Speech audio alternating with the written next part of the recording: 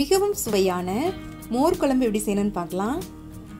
இந்த மோர் குழம்பு பண்ணுறதுக்கு வந்து மெயினாக என்ன வேணும்னா மோர் தான் வேணும். இந்த மோர் குழம்பு பண்ணுறதுக்கு வந்து நான் அரை லிட்டர் மோர் எடுத்திருக்கிறேன்.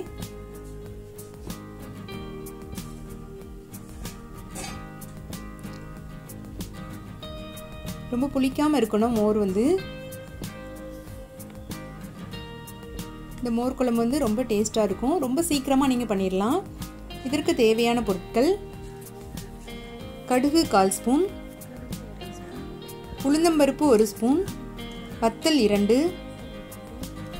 கருவேப்பிலை சிறிதளவு மஞ்சள் தூள் கால் ஸ்பூன் பெருங்காயத்தூள் அரை ஸ்பூன். இது எல்லாம் எடுத்துக்கோங்க.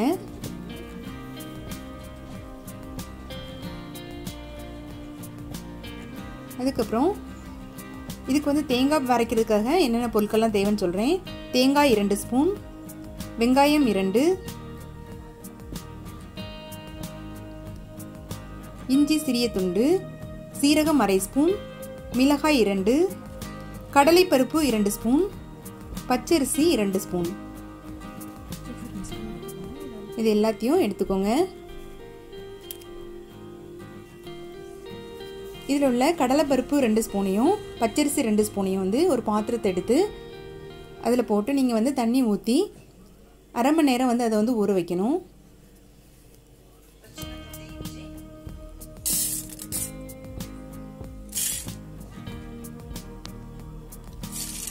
அரை மணி நேரம் ஊறின பிறகு நம்ம வந்து இந்த இதை வந்து தேங்காய் கூட சேர்த்து வந்து அரைப்போம். ஏன்னா அது வந்து ஊறினா தான் அரைப்படும். ஸோ அதனால தான் நம்ம வந்து அரை மணி நேரம் வந்து அதை ஊற வைக்கிறோம். இப்போ வந்து நம்ம எடுத்துக்கிட்ட தேங்காய் வெங்காயம் இஞ்சி சீரகம் மிளகாய் அதுக்கப்புறம் நம்ம ஊற வச்சுருந்த கடலைப்பருப்பு பச்சரிசி. இது ரெண்டையும் சேர்த்து இது ரெண்டையும் இது கூட சேர்க்கணும். இது எல்லாத்தையும் மிக்சிக்கு நேரத்தில் எடுத்துகிட்டு தண்ணி சேர்த்து நல்லா பேஸ்ட்டாக அரைச்சிக்கோங்க. நல்லா நைஸாக அரைக்கணும். இந்த இதே மாதிரி அரைச்சி வச்சுக்கோங்க.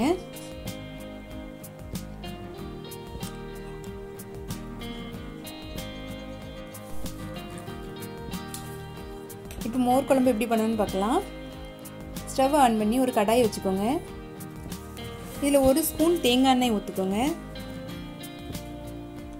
எண்ணெய் சூடானதும் கால் ஸ்பூன் கடுகு போட்டுக்கோங்க.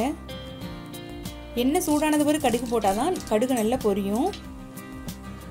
அதுக்கப்புறம் அது கூட ஒரு ஸ்பூன் உளுந்தம்பருப்பு ஆட் பண்ணிக்கோங்க. வத்தல் ரெண்டு ஆட் பண்ணுங்கள் கருவேப்பிலை கொஞ்சம் போட்டுக்கோங்க. அது கூட பெருங்காயத்தூள் அரை ஸ்பூன் போட்டுக்கோங்க. இந்த பெருங்காயத்தூள் வந்து ரொம்ப டேஸ்ட் கொடுக்கும். அது கூட கால் ஸ்பூன் மஞ்சள் தூளும் ஆட் பண்ணிக்கோங்க.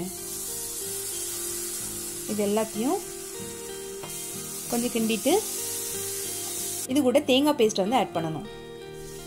நம்ம அரைச்சி வச்ச தேங்காய் பேஸ்ட்டை வந்து இது கூட ஆட் பண்ணி நல்லா கிளறி விடணும். அதுக்கப்புறம் கொஞ்சமாக தண்ணியை ஆட் பண்ணிக்கோங்க.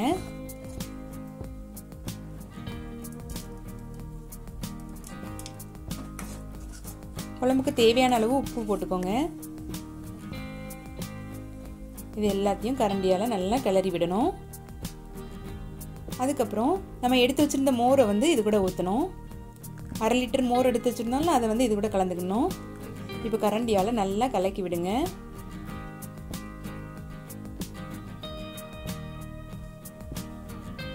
இப்போ நமக்கு வந்து மோர் குழம்பு ரெடி ரொம்ப சீக்கிரமாக பண்ணிடலாம் அந்த மோர் குழம்பு வந்து. இப்போ வந்து நம்ம டெய்லி வந்து ஒரே குழம்பு பண்ணிட்டு இருக்கிறது வந்து டிஃப்ரெண்ட்டாக அந்த மோர் குழம்பு ட்ரை பண்ணலாம் நீங்கள் வந்து. மிகவும் சுவையான மோர் குழம்பை சுவைத்து பாருங்கள்.